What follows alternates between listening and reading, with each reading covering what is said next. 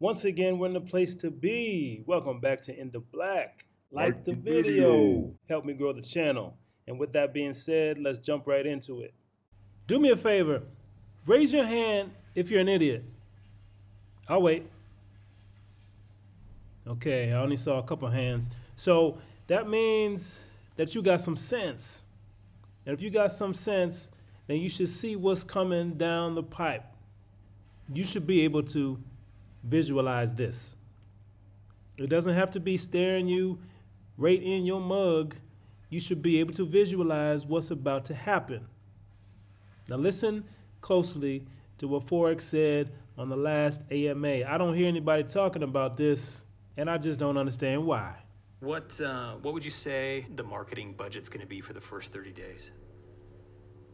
Uh, we're looking at 150 200,000 dollars for the first 30 days, uh, and that's going to really allow us to have a good run of the YouTube ads, see what works, what isn't working.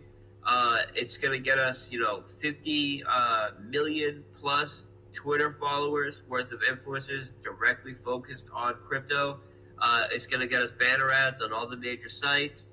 Um, it's getting us articles for a bunch of major platforms. Uh, we have some really big YouTubers lined up. Did you hear the words that came out of the man's mouth?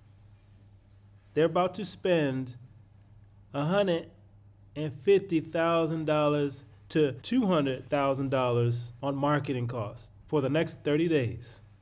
Do you understand how much they spent in the last year and a half that Drip has been around? Let me think. Zero.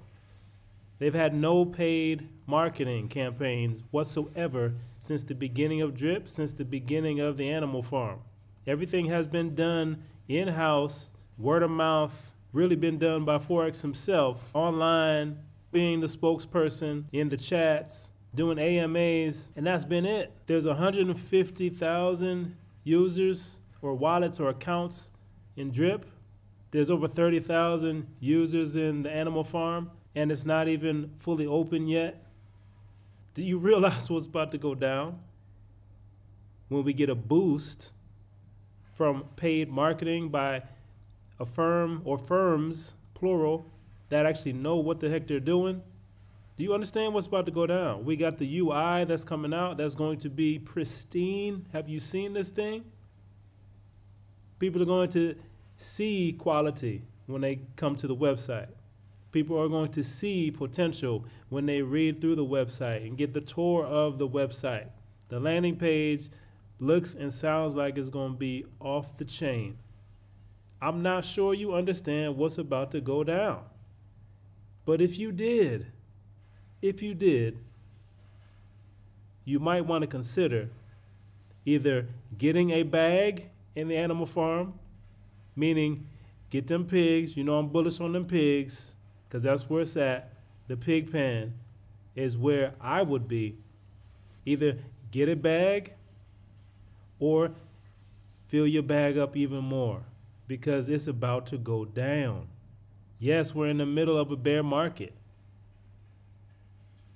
But this ship is taking sail. It's setting sail and it's about to leave the dot.